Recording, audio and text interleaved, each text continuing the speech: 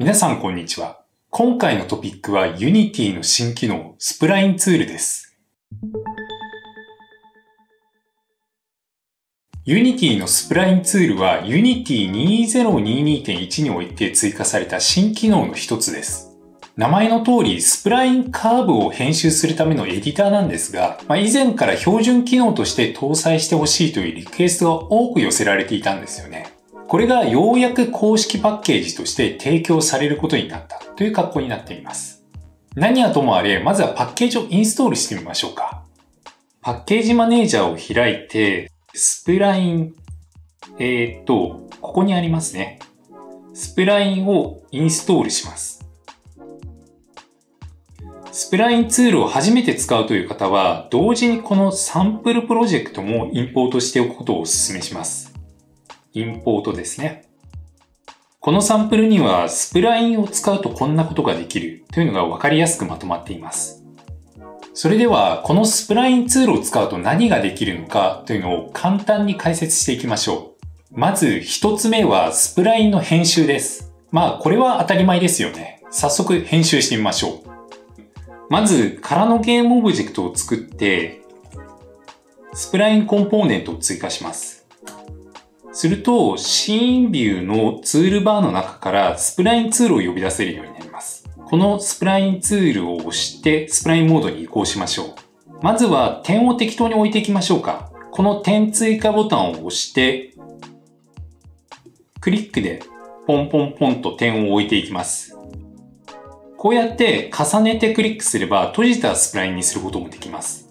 こうして作った折れ線をカーブにしていくにはスプラインインスペクターを使うんですが、もしかしたらこんな感じでツールバーの中に引っ込んじゃってるかもしれません。こういう場合はドラッグして引き出してあげた方がやりやすいですね。このインスペクターを使ってカーブを均等に曲げたり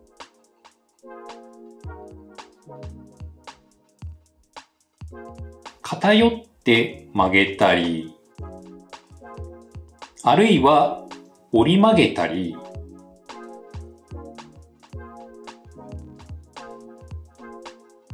リニアに戻したりとか、そういった一般的な編集ができます。次に行きましょう。スプラインツールを使ってできることその2は、スプラインのメッシュ化です。スプラインをメッシュレンダラーを使って描画できるようにするという機能です。先ほど作ったスプラインと同じゲームオブジェクトに Spline Extrude コンポーネントを追加しましょう。これでスプラインがチューブ状のメッシュオブジェクトになりました。太さを変えたり、細かさを変えたり、範囲を変えたり、そういった基本的なパラメータが用意されています。まあ、あとはマテリアルをちゃんと設定すれば見た目を作り込むこともできますね。スプラインツールを使ってできること、その3は、スプラインに沿ってオブジェクトを動かすという機能です。スプラインカーブを使った簡単なアニメーションといったところですね。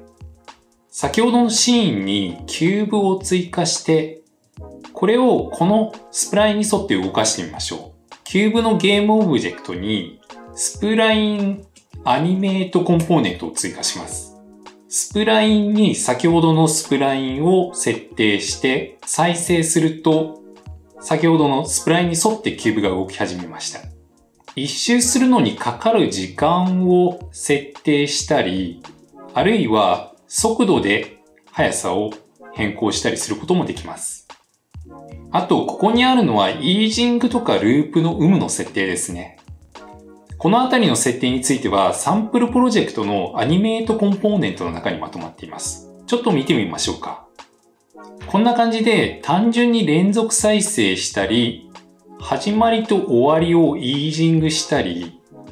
始めと終わりを行ったり来たりのピンポン再生したりというようなオプションが用意されています。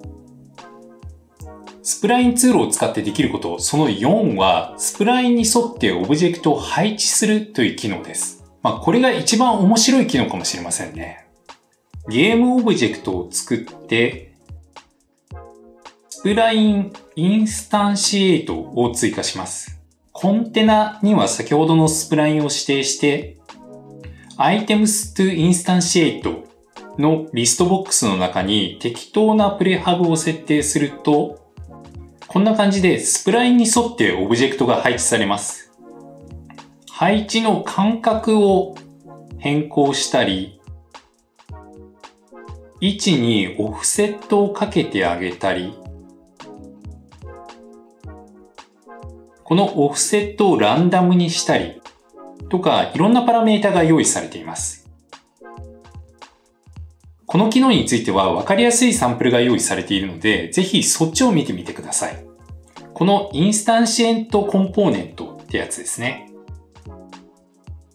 こんな感じでカーブに沿ってオブジェクトを自然に配置することができます。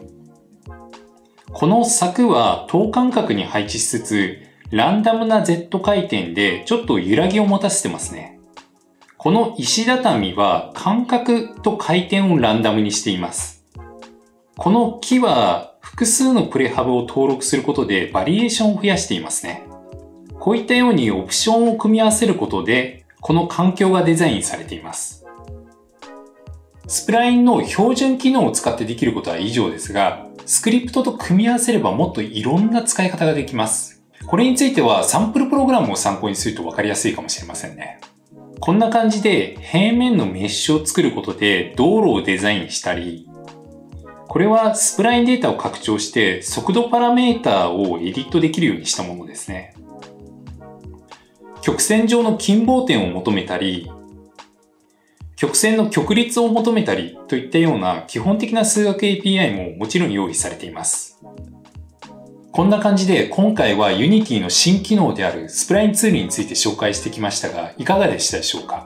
やっぱりあのオブジェクトを配置する機能とかは今すぐにでも使えそうで面白いですよね。今回は標準コンポーネントを中心に解説しましたが、独自のスクリプトでカスタマイズした使い方についても、まあ、また別の機会にお話ししたいですね。もし、こういう使い方ができたらいいんじゃないかとか、こういう使い方をするにはどうしたらいいのか教えてみたいな質問がありましたら、コメント欄に書き込んでみてください。また、今回の動画が参考になったという方は、高評価やコメントをいただけますとありがたいです。それではまた次回の動画でお会いしましょう。